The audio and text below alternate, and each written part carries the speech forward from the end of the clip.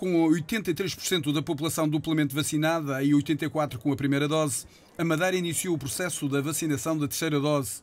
Basta que tenha mais de 18 anos e que a segunda dose tenha sido aplicada há pelo menos seis meses. Neste arranque, são os mais velhos quem mais aderem.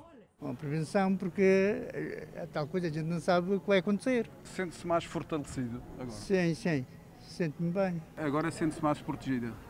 Sim, graças a Deus. As outras não me fizeram nada, só do assim uma coisa, assim coisa. Não, te, não, te, não, não teve efeitos secundários? Não. Muitas pessoas dizem, ah, não vais, não vais, porque não, não presta, não, não vou apanhar.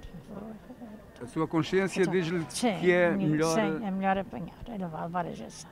É importantíssimo, realmente, pela, pela, pela recomendação da, da saúde pública e por, por precaução pessoal também. A terceira dose é feita com casa aberta e com a vacina da Pfizer, independentemente do laboratório das doses anteriores.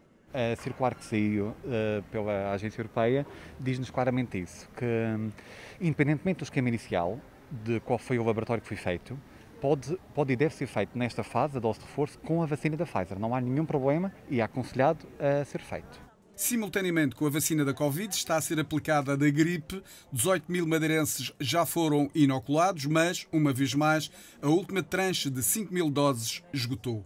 Escutou, sim. Também queria, queria Hoje tomar também hoje? queria levar as duas, mas olha, fico para a próxima. Uh, ia levar, mas agora só daqui a duas semanas. Eh, Também está escutada, não é? Está escutado, acho que sim, está escutado. Está prevista para esta semana a chegada à região de outras 8 mil doses da vacina da gripe. Nesta altura, na Madeira, há 178 casos ativos da Covid-19, há 8 pessoas internadas no Hospital do Tornelo e Mendonça, nenhuma nos cuidados intensivos.